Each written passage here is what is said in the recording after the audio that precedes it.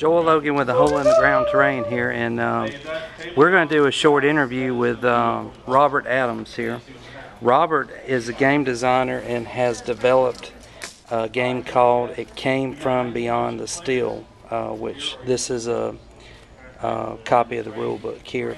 And uh, Robert, can you give folks just a quick, brief synopsis of the game itself? Then I've got a few specific questions sure. I want to ask you.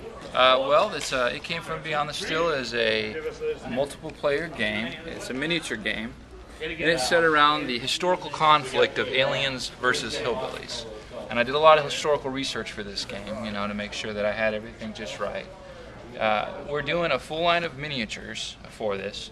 Um, we have a Kickstarter out right now, although I think the days are almost over on it. But we are still doing the miniatures anyway.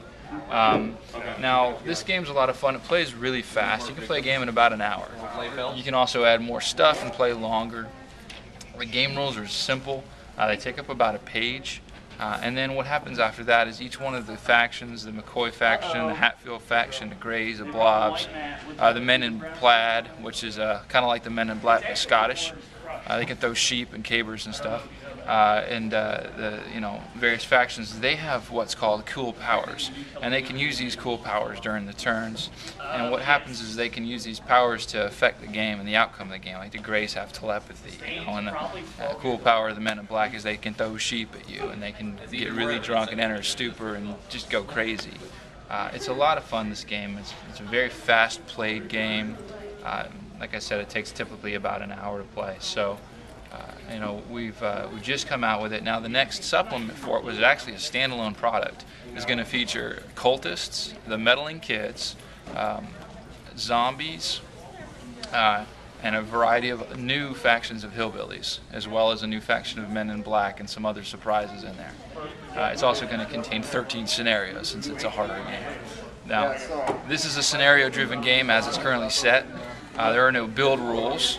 Uh, the third book, which is planned, which I'm currently writing, is called The Missing Link. It's going to feature hillbillies and dinosaurs and all kinds of fun things like that. It's going to be kind of high adventure in the trailer park. So that one's also going to feature uh, build rules, so you can build your own factions and things like that. So.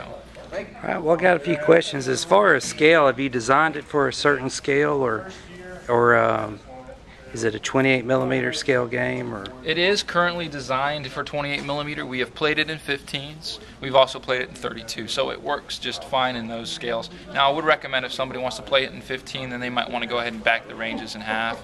Uh, maybe do the same with the movement, depending on how big their table is. It's designed for a four by um, four by four table.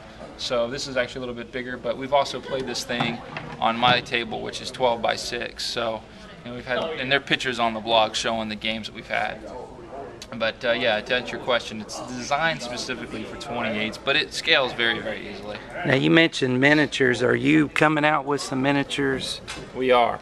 Are these some of them? Those are not. Looking? Those are Blue Moon, and okay. they are they make good stuff. That's uh, Blue Moon Hillbillies. Uh, those are available right now. You can get them from various retailers. Um, you know, I just uh, so we are doing though, but the blobs down there uh, okay. are from our current sculptor, uh, Brad Shear of Frozen Planet. Those are some official miniatures for it came from Beyond the Still. You said you're working Here's on a board game for this as well. Yeah, we are. We're designing a board game. We're going to do all the miniatures for the factions for this game, and then once that's complete, uh, we're going to go ahead and use those same miniatures for the board game. And the board game will be based off of tiles, since obviously you can't fit a bunch of terrain in a board you know, in a box. So, yeah, it's working. So. Well, Robert, I'm going to um, film your board a little bit, and everybody, if you can see this information here, uh, this is how to get in contact with him, and we'll also uh, try to put a link into the video as well. Sure. Uh, but Robert, we appreciate your time today, and uh, Thank thanks for uh, letting us film it, and we'll get this on soon. Thank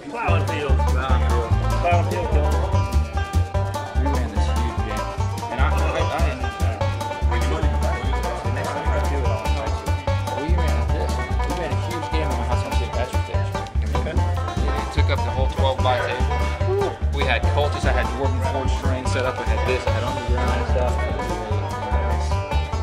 Mel played the blob. She probably. But that's blob stuff. But wait a minute. We should look at putting splitting fraction to one here.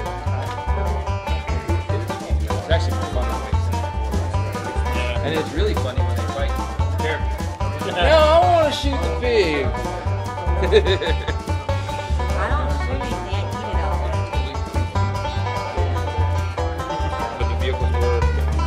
have to like if you if you if you're the guy with the vehicle. In this case, I think it's is it drunk Bob with the vehicle? Who has the truck? It's a cool power. Uh, at There least ain't the no focus truck over here. there,